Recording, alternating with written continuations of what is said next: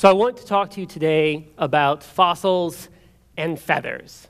Now, as a mammal, I suffer from considerable feather envy because comparing hair to feathers is a bit like comparing a rotary landline to the new iPhone. One is just a lot more complicated, comes with more built in features than the other. Now, this particular feather is a primary, it's from the wing of a golden eagle. And you can see it's got a central rachis, which is hollow and runs all the way up to the tip. Now, the rachis is flexible, so it can be bent, but then springs back into shape. Branching off from the rachis, there are various filamentous barbs. And those barbs you can see in this feather are asymmetrical. That is, they're much longer on one side than on the other. And that's because this feather is specially adapted to contribute to the lift generating form of the wing. Now, collectively, the barbs form a cohesive sheet of material because branching off from them, there are little barbules. And branching off from the barbules, there are tiny hooks. And these hooks act like Velcro, holding the barbs together. So if you like, it's possible to unvelcro a feather and peel the barbs apart. But if a feather's torn like this, it's a simple matter for the bird to come along and velcro it back together. Cheap and easy repair. That's one point for feathers over iPhones. Now, as a paleontologist, I'm fascinated with how complex structures like feathers can evolve. And I'm going to come back to feathers specifically in a moment. But first, let me introduce you to a metaphor that paleontologists and evolutionary biologists use to help them wrap their minds around the complex process of macroevolution. So imagine if we could plot across two axes all the possible variations in traits that would be possible for organisms to evolve. And I mean everything. We would plot the sharpness of claws, the length of claws, the width of claws, of eyeballs, of skulls, of tails, everything. Now, of course, we can't do that. There's probably an infinite number of forms organisms could theoretically evolve. But that's okay because it's a metaphor. And then across a third axis, we plot the corresponding fitness values. That is, how much those traits and combinations of traits aid an organism, how beneficial they are.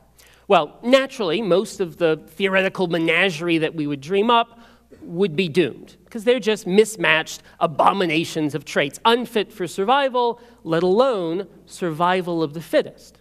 But some traits work really well together. The combination of thick digging claws and a long tongue lets an anteater scratch out an existence as a successful insectivore. And so the result is a hill and valley landscape where beneficial combinations of traits create towering mountains of high fitness value.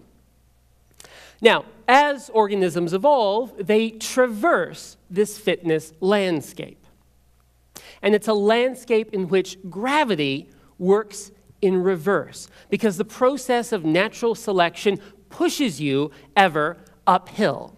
So imagine an evolving population hanging out in the adaptive lowlands. Well, it moves around a little bit just thanks to random genetic drift, la di da di da, until it happens upon a slope. That is, some mutation introduces a beneficial trait. Perhaps the ribs get a little bit thicker, providing better protection when a predator bites you. Well, upwards, natural selection pushes you. Those ribs get thicker still. They develop into armored plates. Up you go.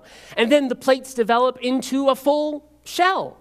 And you know what goes great with a shell? The ability to tuck your legs and head and tail inside of it until eventually, what have you got? You've got a turtle. Now, once you get up there to the peak of turtliness, there's only so far you can go. If your shell gets bigger and bigger still, oh, it starts to be too heavy, it starts to be too costly, you would start to slip off the other side. Natural selection doesn't let that happen. Those bad mutations are weeded out. It holds you there in place back towards the peak. Now, I don't mean any offense to turtles. One of my best friends is a turtle. True story. Um, but turtles are probably not the pinnacle of evolution, by which I mean their particular combination of traits probably does not afford them the highest possible fitness values. Somewhere in the adaptive landscape, there are probably taller peaks. But how do you get to them? Once you're stuck on, on one peak, the same forces that drove you up to it are now holding you stuck in place. You are effectively marooned in the adaptive landscape. Well, if you can't roll off the edge to reach another peak, maybe you can get there in one enormous jump. That is, maybe you could have a sudden, really big mutation that so drastically changes what an organism is like that you wind up somewhere else in the landscape. Now, of course, most such jumps would put you at a point of lower fitness value. And that mutation would die out. But theoretically, you could happen to land somewhere on a higher slope. And once there, natural selection could push you all the way up to that new peak. This, though, is a little bit like how evolution gets depicted in the X Men franchise. Right? Suddenly, teenagers have mutations that grant them cool CGI spikes or heat vision. And when Sir Patrick Stewart explains it, uh, it sounds quite reasonable. Uh, but, uh, and there probably have been some instances where big mutations have introduced highly beneficial traits, but by and large, no, Sir Patrick, uh, that's not how it works. Evolution is a gradual process. And so the prevailing view is that once you're on your little peak, you are stuck until the landscape itself starts to change. Now, nature, a lot can change. Other organisms can go extinct, habitats can be altered, there can be climate change. And what is advantageous today may not have such high fitness values tomorrow. In the face of, say, global warming, fur coats are out, swim fins are in. The peak that you're residing on can sink as others start to rise. And once your peak is totally gone, you're free to maneuver up to a new slope and reach that point. This perspective sees organisms as basically passive rafters riding a fluctuating adaptive seascape. But today, I want to argue to you that there is, in fact, a force that can push organisms off of their peak, plunge them into the adaptive landscape where they can stumble across higher slopes. And that comes to us all thanks to sex sexual selection. now, life does a lot of dumb stuff for sex. Sexual selection drives the development of all kinds of bizarre and flamboyant display structures and courtship displays, things that can actually be quite detrimental to survival. And sexual selection is like the fashion industry. It can favor novelty for the sheer sake of novelty, and it actively resists stagnation. Sexual selection also has a way of running away with itself. So, females that happen to like males with big dewlaps, that's the neck hangy downy thingy on that iguana, will preferentially mate with males with bigger dewlaps. And that produces offspring that both have bigger dewlaps and have a mating preference for bigger dewlaps. And on it goes. Now, to explain how that could help you bridge to adaptive peaks, let me give you a hypothetical example. So, giraffes, of course, are well suited to browsing high.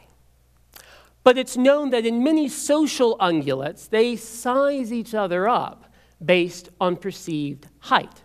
And male giraffes engage in a behavior that's called necking. That's when the males swing their heads down and whap their romantic rivals with their skull like a medieval ball and chain.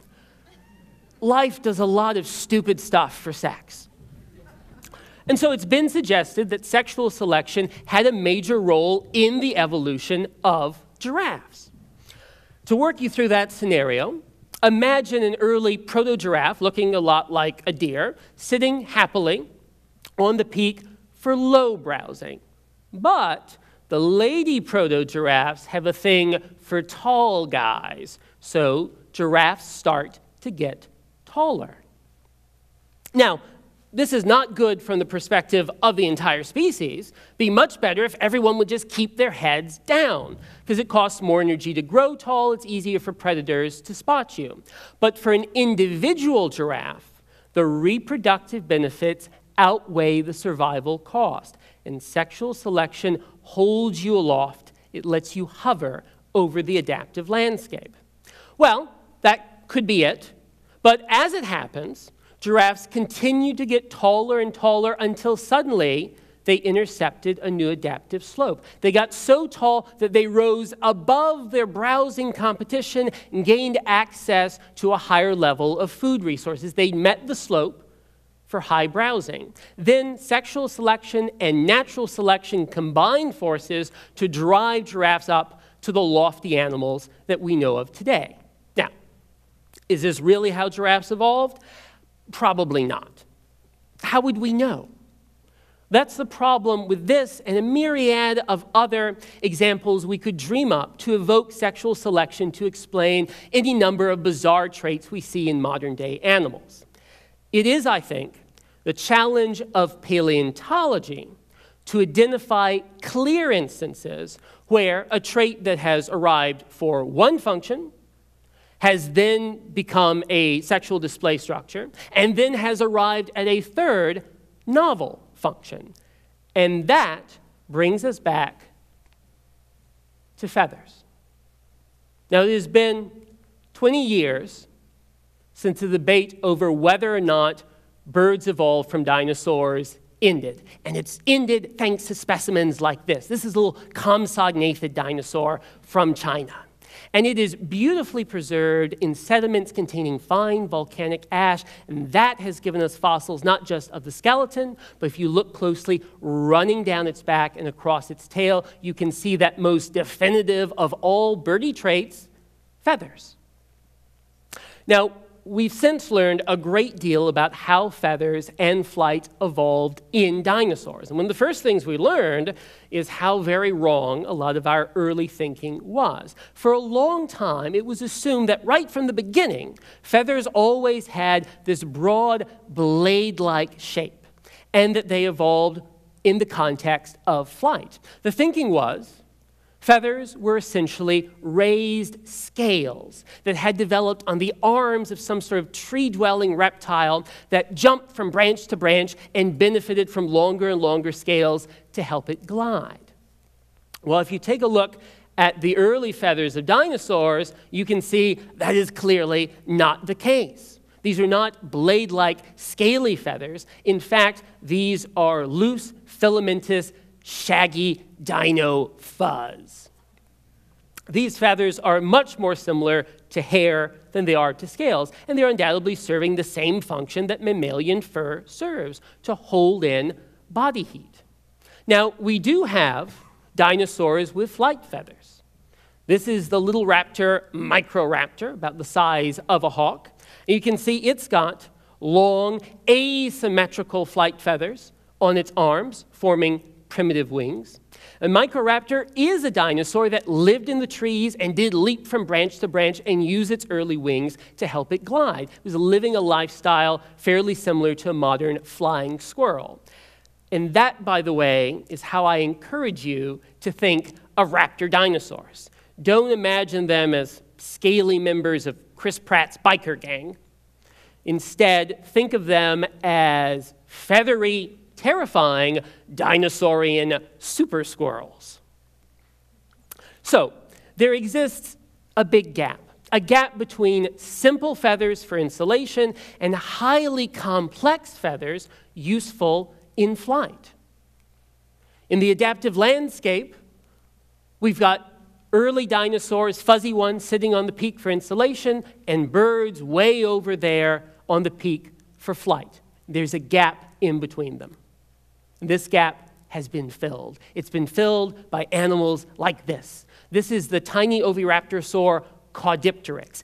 It has got complex fans of feathers on its arms and on its tail. But they're not flight feathers. They're not asymmetrical. Caudipteryx cannot fly. It's strictly a land bound dinosaur. So, what's it doing with these stiff, blade like feather fans? Well, today, many ground birds make use of complex feathers not in flight, but in courtship. Think turkeys, think peacocks. These little dinosaurs were probably doing the same thing.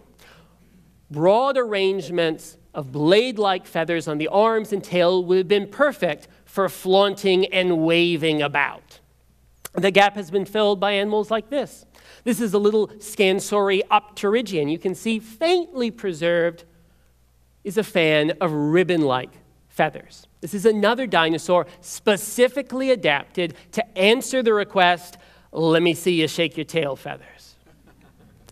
And it's been filled by ornithomimids. These are dinosaurs with linear arrangements of great plumes on their arms. And here it's known that those only grew in in adults. They're absent in juveniles, so they arrive upon reaching sexual maturity.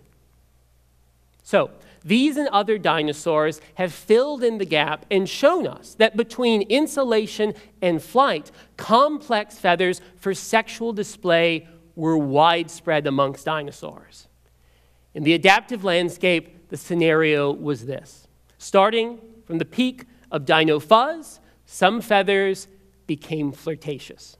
They developed broader, more complex forms arranged along the arms and tail to aid in flirting. But then, as it happened, in one group of tree dwelling raptor like dinosaurs, it turned out that these flirtatious fans were also actually pretty good at helping you parachute and glide. And from there, it was upwards to birds that they soared. Now, feathers are complicated. They're complicated in terms of their structure, their function, and their evolutionary history. And I think they also teach us how important sexually selected bridges can be. Today, there are more than 10,000 species of birds. That's far more than us hairy mammals. And the success of birds is undoubtedly tied to their ability to fly. Flight really is a tall fitness peak, and it's one that could not have been reached without that bridge. So, for dinosaurs, a little bit of sex appeal went a long ways.